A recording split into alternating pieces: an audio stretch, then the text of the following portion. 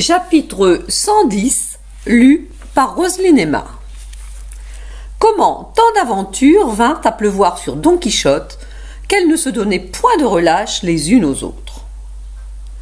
Quand Don Quichotte se vit en race campagne, libre et débarrassé des poursuites amoureuses d'Altisidore, il lui sembla qu'il était dans son centre, et que les esprits vitaux se renouvelaient en lui pour poursuivre son œuvre de chevalerie. Il se tourna vers Sancho et lui dit La liberté, Sancho, est un des dons les plus précieux que le ciel ait fait aux hommes. Rien ne l'égale, ni les trésors que la terre enferme en son sein, ni ceux que la mer recèle en ses abîmes. Pour la liberté, aussi bien que pour l'honneur, on peut et l'on doit aventurer la vie. Au contraire, l'esclavage est le plus grand mal qui puisse atteindre les hommes. Je te dis cela, Sancho, parce que tu as bien vu l'abondance et les délices dont nous jouissions dans ce château que nous venons de quitter. Eh bien, au milieu de ces mets exquis et de ces boissons glacées, il me semblait que j'avais à souffrir les misères de la faim, parce que je n'en jouissais pas avec la même liberté que s'ils m'eussent appartenu car l'obligation de reconnaître les bienfaits et les grâces qu'on reçoit sont comme des entraves qui ne laissent pas l'esprit s'exercer librement. Heureux celui à qui le ciel donne un morceau de pain, sans qu'il soit tenu d'en savoir gré à d'autres qu'au ciel même. Et pourtant, reprit Sancho, malgré tout, ce que votre grâce vient de me dire, il ne serait pas bien de laisser sans reconnaissance de notre part deux cents écus d'or que m'a donné dans une bourse le majordome du duc, laquelle bourse je porte sur le cœur, comme un baume réconfortant pour les occasions qui se peuvent offrir. Nous ne trouverons pas toujours des châteaux où l'on nous régalera. Peut-être aurons-nous à rencontrer des hôtelleries où l'on nous assommera sous le bâton. En s'entretenant de la sorte marchaient le chevalier et l'écuyer errant. Lorsqu'ils virent, après avoir fait un peu plus d'une lieue, une douzaine d'hommes habillés en paysans qui dînaient, assis sur l'herbe d'une verte prairie, ayant fait une nappe de leur manteau. Ils avaient près d'eux comme des draps blancs étendus et dressés de loin en loin qui semblaient couvrir quelque chose. Don Quichotte s'approcha des dîneurs, et après les avoir poliment salués, il leur demanda ce que couvraient ces toiles. Un d'eux lui répondit Seigneur, euh, sous ces toiles sont de saintes images en relief et en sculpture, qui doivent servir à un reposoir que nous dressons dans notre village. Nous les portons couvertes, crainte qu'elles ne se flétrissent, et sur nos épaules, crainte qu'elles ne se cassent. Si vous vouliez le permettre, répliqua Don Quichotte, j'aurais grand plaisir à les voir, car des images qu'on porte avec tant de soin ne peuvent manquer d'être belles. Oh. Comment. Si elles sont belles, reprit un autre. Leur prix n'a qu'à le dire, car en vérité, il n'y en a pas une qui coûte moins de cinquante ducats. Et pour que votre grâce voie que ce que je dis est vrai, attendez un moment, et vous le verrez de vos propres yeux. Se levant aussitôt de table, l'homme alla découvrir la première image, qui se trouva être celle de Saint Georges, monté sur son cheval, foulant au pied un dragon et lui traversant la gueule de sa lance avec l'air fier qu'on a coutume de lui donner. L'image entière ressemblait, comme on dit, à une chasse d'or. Ce chevalier, dit Don Quichotte en le voyant, fut un des meilleurs chevaliers errants qu'eut la milice divine. Il l'appela Don Saint-Georges et fut en, grand, outre un grand défenseur de filles. Bon, voyons cet autre. L'homme la découvrit et l'on aperçut l'image de Saint Martin, également à cheval, qui partageait son manteau avec le pauvre. Don Quichotte ne l'eut pas plutôt vu qu'il s'écria Ce chevalier fut aussi des aventuriers chrétiens, et je crois, encore plus libéral que vaillant.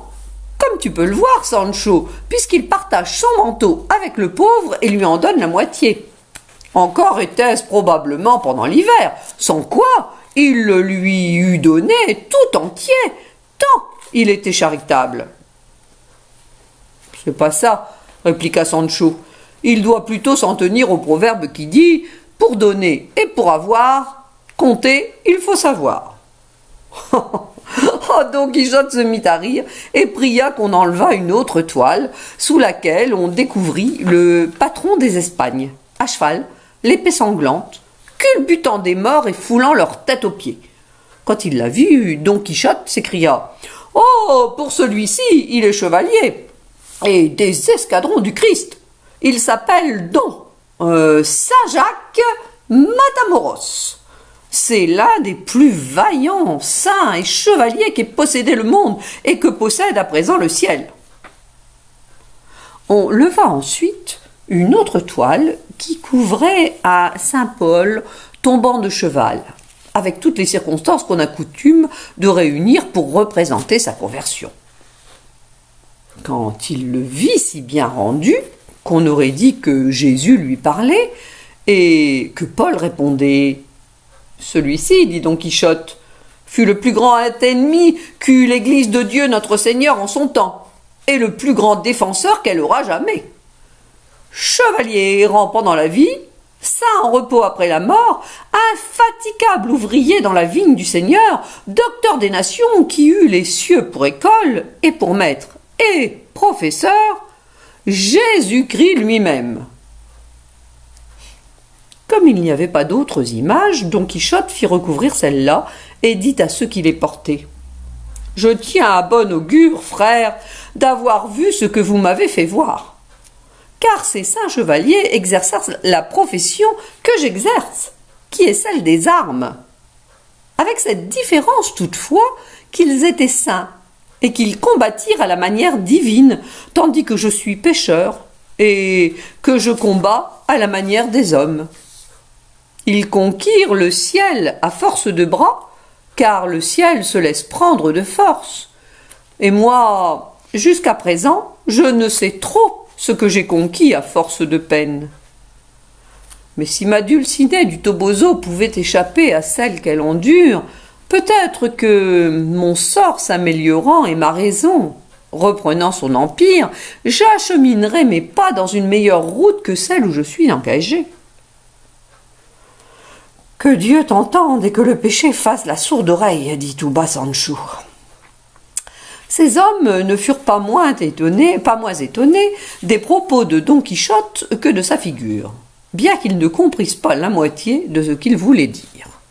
Ils achevèrent de dîner, euh, chargèrent leurs images sur leurs épaules et, prenant congé de Don Quichotte, continuèrent leur route. Pour Sancho, comme s'il n'eût jamais connu son Seigneur, il resta tout ébahi de sa science, s'imaginant qu'il n'y avait histoire au monde qu'il n'eût gravée sur l'ongle et plantée dans la mémoire. En vérité, Seigneur, notre maître, lui dit-il, si ce qui nous est arrivé aujourd'hui peut s'appeler aventure, elle est assurément l'une des plus douces et des plus suaves qui nous soit arrivée dans tout le cours de notre pèlerinage. Nous en sommes sortis sans alarme et sans coup de bâton. Nous n'avons pas mis l'épée à la main, ni battu la terre de nos corps, ni souffert les tourments de la famine. Dieu soit béni, puisqu'il m'a laissé voir une telle chose de mes propres yeux. Tu as raison, Sancho, dit Don Quichotte. Mais fais attention, que tous les temps ne se ressemblent pas et qu'on ne court pas toujours la même chance. Quant aux choses du hasard que le vulgaire appelle communément augure, et qui ne se fondent sur aucune raison naturelle, celui qui se pique d'être censé les juge et les tient pour d'heureuses rencontres. Qu'un de ces gens superstitieux se lève de bon matin, qu'il sorte de sa maison et qu'il rencontre un moine de l'ordre du bienheureux Saint François, le voilà qui tourne le dos, comme s'il avait rencontré un griffon, et qui s'en revient chez lui. Qu'un autre répande le sel sur la table, et voilà que la mélancolie se répand sur son cœur, comme si la nature était obligée de donner avis des disgrâces futures par de si petits moyens. L'homme sensé et chrétien ne doit pas juger sur des vestiges de ce que le ciel veut faire.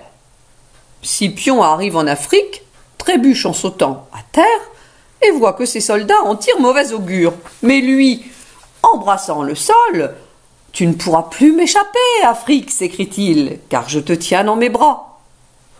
Ainsi donc, Sancho. La rencontre de ces saintes images a été pour moi un heureux événement. Je le crois bien, répondit Sancho. Mais je voudrais que votre grâce me dît une chose. Pourquoi les Espagnols quand ils veulent livrer quelques batailles, disent-ils en invoquant Saint Jacques Matamoros Saint Jacques et ferme Espagne. Est-ce que, par hasard, l'Espagne est ouverte et qu'il soit bon de la fermer? Ou, ou quelle cérémonie est-ce là? Que tu es simple, Sancho, répondit Don Quichotte. Fais donc attention que ce grand chevalier de la Croix Vermeille, Dieu l'a donné pour patron à l'Espagne principalement dans les sanglantes rencontres qu'ont eues les Espagnols avec les morts. Aussi l'invoque-t-il, comme défenseur dans toutes les batailles qu'il livre, et bien des fois on l'a vu visiblement attaquer, enfoncer et détruire des escadrons sarrasins. C'est une vérité que je pourrais justifier par une foule d'exemples tirés des histoires espagnoles les plus véridiques. Changeant alors d'entretien, Sancho dit à son maître je suis émerveillé, Seigneur, de l'effronterie de cette Altisidore, la demoiselle de la duchesse. Elle doit être bravement blessée par ce petit drôle qu'on appelle amour. C'est, dit-on, un chasseur aveugle, qui, tout myope qu'il est, ou plutôt sans yeux, s'il prend un cœur pour but, il l'atteint si petit qu'il soit et le perce de part en part avec ses flèches. J'ai bien ouï dire que, Contre la pudeur et la sagesse des filles, les flèches de l'amour s'émoussent et se brisent. Mais il paraît que dans cette Altisidore, elles s'aiguisent plutôt que de s'émousser. Remarque donc, Sancho, répondit Don Quichotte, que l'amour ne garde ni respect ni ombre de raison dans ses desseins. Il a le même caractère que la mort, qui attaque aussi bien les hautes tours des palais des rois que les humbles cabanes des bergers. Et quand il prend entière possession d'une âme, la première chose qu'il fait, c'est de lui ôter la crainte et la honte. Aussi, est-ce sans pudeur qu'Altisidore a déclaré ses désirs, qui ont engendré dans mon cœur moins de pitié que de confusion.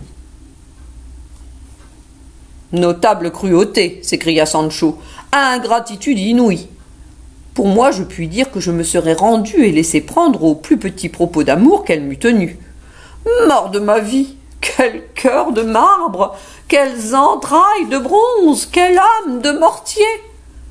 Mais je ne puis m'imaginer ce qu'a vu cette donzelle en votre personne pour s'éprendre et s'enflammer ainsi. Quelle parure, quelle prestance, quelle grâce, quel trait du visage a-t-elle admiré? Comment chacune de ces choses en particulier ou toutes ensemble ont-elles pu l'amouracher de la sorte? En vérité, en vérité, je m'arrête bien souvent pour examiner votre grâce depuis la pointe du pied jusqu'au dernier cheveu de la tête, et je vois des choses plus faites pour épouvanter les gens que pour les rendre amoureux. Comme j'ai ouï dire également que la beauté est la première et la principale qualité pour réveiller l'amour. Votre grâce n'en ayant pas du tout, je ne sais trop de quoi. C'est amouracher la pauvre fille. Fais attention, Sancho, répondit Don Quichotte, qu'il y a deux espèces de beauté. L'une de l'âme et l'autre du corps. Celle de l'âme brille et se montre dans l'esprit, dans la bienséance, dans la libéralité, dans la courtoisie, et toutes ces qualités peuvent trouver place chez un homme laid. Quand on vise à cette beauté et non à celle du corps, L'amour n'en est que plus ardent et plus durable. Je vois bien, Sancho, que je ne suis pas beau, mais je reconnais aussi que je ne suis pas difforme. Et il suffit à un homme de bien, pourvu qu'il ait les qualités de l'âme que j'ai dites, de n'être pas un monstre, pour être aimé tendrement.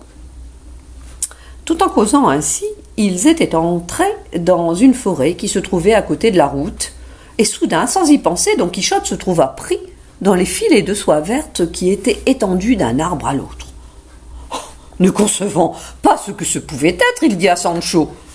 Il me semble, Sancho, que la rencontre de ces filets doit être une des plus étranges aventures qui se puisse imaginer. Qu'on me pende, si les enchanteurs qui me persécutent ne veulent m'y retenir pour suspendre mon voyage, comme en punition de la rigueur dont j'ai payé la belle Altisidore. Eh bien, moi, je leur fais savoir que si ces filets, au lieu d'être faits de soie verte, étaient durs comme le diamant, ou plus forts que ceux dans lesquels le jaloux dieu des forgerons enferma Vénus et Mars, je les romprais. Cependant, comme s'ils étaient de joncs marins ou des filures de coton. Cela dit, il voulait passer outre et briser euh, toutes les mailles, quand tout à coup s'offrirent à sa vue, sortant d'une touffe d'arbre, deux belles bergères, ou du moins deux femmes vêtues en bergères, si ce n'est que les corsets de peau étaient de fin brocart et les jupons de riches taffetas d'or. Elles avaient les cheveux tombant en boucle sur les épaules, et si blonds qu'ils pouvaient le disputer à ceux mêmes du soleil. Leur tête était couronnée de guirlandes où s'entrelaçaient le vert laurier et la rouge amarante. Leur âge, en apparence, passait quinze ans, sans atteindre dix-huit. Cette apparition étonna Sancho. Confondit Don Quichotte, fit arrêter le soleil dans sa carrière et les retint tous quatre dans un merveilleux silence. Enfin, la première personne qui le rompit fut une des deux bergères. Retenez la bride, seigneur cavalier, dit-elle à Don Quichotte, et ne brisez point ces filets, qui n'ont pas été tendus pour votre dommage, mais pour notre divertissement. Et comme je sais que vous allez nous demander pourquoi ils ont été tendus, et qui nous sommes, je veux vous le dire en peu de mots. Dans un village à deux lieues d'ici, où demeurent plusieurs gens de qualité et plusieurs riches hidalgos, Divers amis et parents se sont concertés avec leurs femmes, leurs fils et leurs filles, leurs amis et leurs parents, pour venir se réjouir en cet endroit qui est un des plus agréables sites de tous les environs. Nous formons à nous tous une nouvelle Arcadie pastorale. Les filles sont habillées en bergères et les garçons en bergers. Nous avons appris par cœur deux églogues, l'une du fameux euh, Garcilaso de la Vega, l'autre de l'excellent Camoens dans sa propre langue portugaise. Nous ne les avons point encore représentés, car c'est hier seulement que nous sommes arrivés ici. Nous avons planté quelques tentes parmi ce feuillage et sur le bord d'un ruisseau abondant qui fertilise toutes ces prairies. La nuit dernière, nous avons tendu ces filets à ces arbres pour tromper les oiseaux, qui, chassés par notre bruit, viendraient s'y jeter sans méfiance. S'il vous plaît, Seigneur, de devenir notre hôte, vous serez accueillis avec courtoisie et libéralité, car en cet endroit nous ne laissons nulle place au chagrin et à la tristesse. La bergère se tut, et Don Quichotte répondit. Assurément, belle et noble dame, Actéon ne dut pas être plus surpris et plus émerveillé quand il surprit Diane au bas que je ne le suis à la vue de votre beauté. Je loue l'objet de vos divertissements et vous sais gré de vos offres obligeantes. Si à mon tour je puis vous servir, vous pouvez commander, sûr d'être obéi. Car ma profession n'est autre que de me montrer reconnaissant et bienfaisant envers toute espèce de gens, mais surtout envers les gens de qualité, comme témoignent l'être vos personnes. Si ces filets, qui ne doivent occuper qu'un petit espace, occuper toute la surface de la terre, J'irai chercher de nouveaux mondes pour passer sans les rompre. Et pour que vous donniez quelque crédit à cette hyperbole, sachez que celui qui vous fait une telle promesse n'est rien moins que Don Quichotte de la Manche, si toutefois ce nom est arrivé à vos oreilles. Oh, cher ami de mon âme, s'écria sur le champ l'autre bergère, quel bonheur nous est venu. Vois-tu ce seigneur qui nous parle? Eh bien, je te fais savoir que c'est le plus vaillant chevalier, le plus amoureux et le plus courtois qu'il y ait au monde. À moins qu'une histoire de ses prouesses qui circule imprimée et que j'ai lue ne mente et ne nous trompe. Je gagerai que ce brave homme qu'il mène avec lui est un certain Sancho Panza, son écuyer, dont rien n'égale la grâce et les saillies. C'est la vérité, dit Sancho. Je suis ce plaisant et cet écuyer que vous dites, et ce seigneur est mon maître. Le même Don Quichotte de la Manche, imprimé et raconté en histoire. Oh, cher ami, s'écria l'autre, supplions-le de rester. Nos parents et nos frères en auront une joie infinie. J'ai oui parlé aussi de sa valeur et de ses mérites de la façon dont tu viens d'en parler. On dit surtout qu'il est le plus constant et le plus loyal amoureux que l'on connaisse, et que sa dame est une certaine Dulcinée du Toboso, à qui toute l'Espagne décerne la palme de la beauté. C'est avec raison qu'on la lui donne, reprit Don Quichotte, si toutefois votre beauté sans pareille ne met la chose en question. Mais ne perdez point votre temps, mesdames, à vouloir me retenir, car les devoirs impérieux de ma profession ne me laissent reposer nulle part. Sur ces entrefaites arriva près des quatre causeurs un frère de l'une des deux bergères, vêtu avec une élégance et une richesse qui répondaient à leur accoutrement. Elles lui contèrent que celui qui parlait avec elle était le valeureux Don Quichotte de la Manche, et l'autre son écuyer Sancho, que le jeune homme connaissait déjà pour avoir lu leur histoire. Aussitôt le galant berger fit au chevalier ses offres de service et le pria si instamment de l'accompagner à leur tente que Don Quichotte fut contraint de céder. Il le suivit.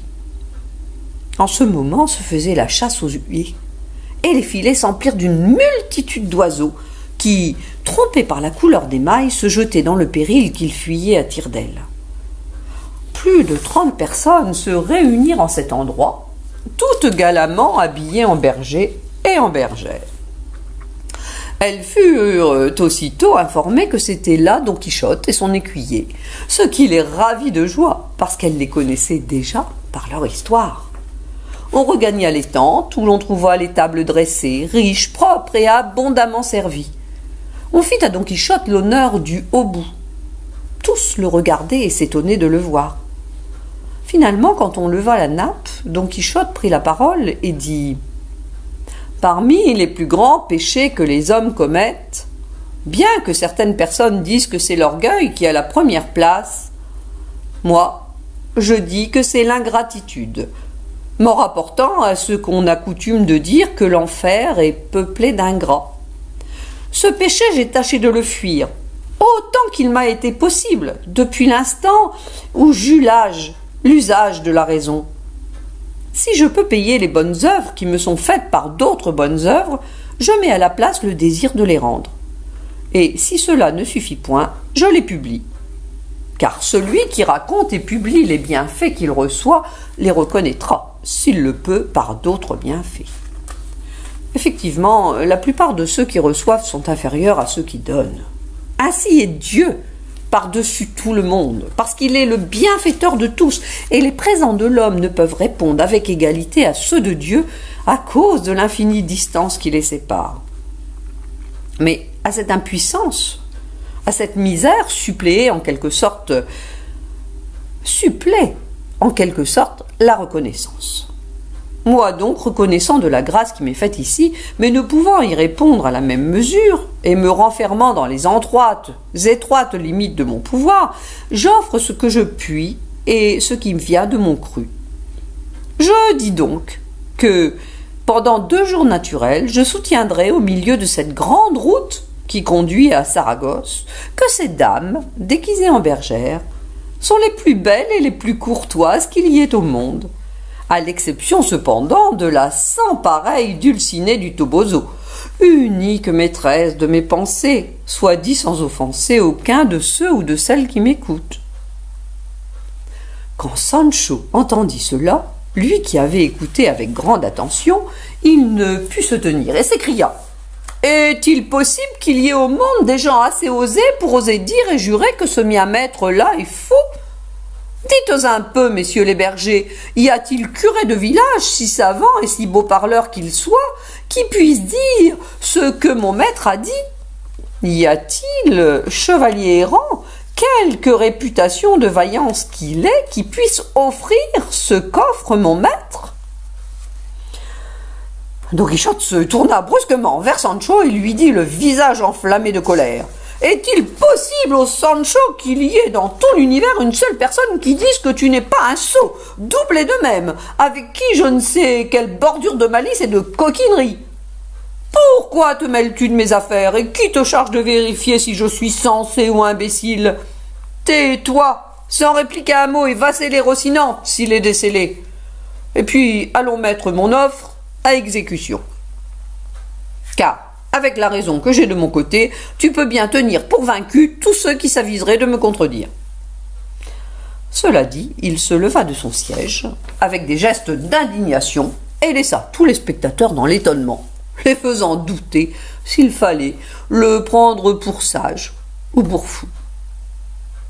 Finalement, ce fut en vain qu'ils essayèrent de le détourner de son entreprise chevaleresque, en lui disant qu'il tenait pour dûment reconnu ses sentiments de gratitude, et qu'il n'était nul besoin d'une nouvelle démonstration pour faire également connaître sa valeur, puisque celle que rapportait son histoire était bien suffisante.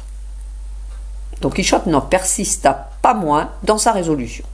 Il monta sur Rocinante, prit sa lance, embrassa son écu, et fut se placer au beau milieu d'un grand chemin qui passait près de la verte prairie. Sancho le suivit sur son âne, ainsi que tous les gens de la compagnie pastorale, désireux de voir où aboutirait son offre arrogante et singulière. Campé, comme on l'a dit, au milieu du chemin, Don Quichotte fit retentir l'air de ses paroles. Ô vous, passagers et voyageurs, chevaliers, écuyers, gens à pied et à cheval qui passez, ou devez passer sur ce chemin pendant les deux jours qui vont suivre, sachez que Don Quichotte de la Manche, chevalier errant, s'est ici posté pour soutenir que toutes les beautés et les courtoisies de la terre sont surpassées par celles que possèdent les nymphes habitantes de ces prés et de ces bois, laissant toutefois à part la reine de mon âme, Dulcinée du Tuboso. Ainsi donc, que celui qui serait d'un avis contraire se présente. Je l'attends ici. Par deux fois, il répéta mot à mot cette apostrophe. Et par deux fois, elle ne fut entendue d'aucun chevalier errant.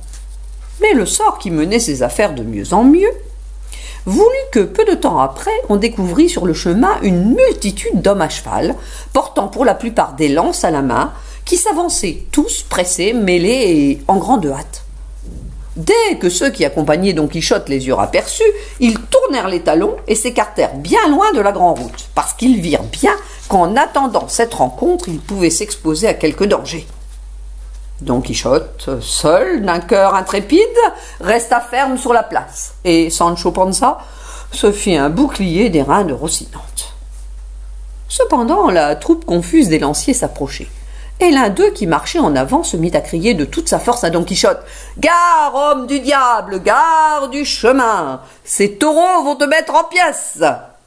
Allons donc, canaille, répondit Don Quichotte. Il n'y a pas pour moi de taureaux qui vaillent, fussent-ils les plus terribles de ceux que le Jarama nourrit sur ses rives? Confessez, malandrin, confessez en masse et en bloc la vérité de ce que j'ai publié tout à l'heure. Sinon, je vous livre bataille. Le vacher n'eut pas le temps de lui répondre, ni Don Quichotte celui de se détourner, quand même il l'eût voulu. Ainsi le troupeau des taureaux de combat, avec les bœufs paisibles qui servent à les conduire, et la multitude de vachers et de gens de toutes sortes qui les menaient à une ville où devait se faire une course le lendemain, tout cela passa par-dessus Don Quichotte, et par-dessus Sancho, Rocinante et le grison, les roulant à terre et les foulant aux pieds. De l'aventure, Sancho resta moulu. Don Quichotte, épouvanté, le grison meurtri de coups et Rocinante, fort peu catholique. Pourtant, ils se relevèrent tous à la fin, et Don Quichotte, bronchant par-ci, tombant par-là, se mit aussitôt à courir après l'armée des bêtes à cornes, criant de toute sa voix Arrêtez Arrêtez Canaille de malandrin, un seul chevalier vous attend, lequel n'est ni de l'humeur, ni de l'avis de ceux qui disent À l'ennemi qui fuit, faire un pont d'argent. Mais les fuyards, pressés, ne ralentirent pas leur course pour cela, et ne firent pas plus de cas de ces menaces que des nuages d'antan. La fatigue arrêta Don Quichotte, qui, plus enflammé de courroux que rassasié de vengeance, s'assit sur le bord du chemin, attendant que Sancho, Rocinante et le grison revinssent auprès de lui. Ils arrivèrent sans fin. Maître et valet reprirent leur monture, et sans retourner prendre congé de la feinte Arcadie avec plus de honte que de joie, ils continuèrent leur chemin.